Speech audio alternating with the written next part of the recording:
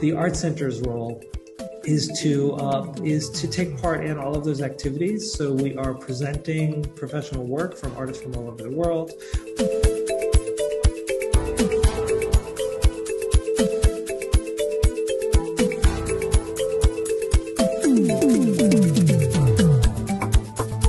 You look at the modern times where you look at young people who are trying to copy and trying to be like other people.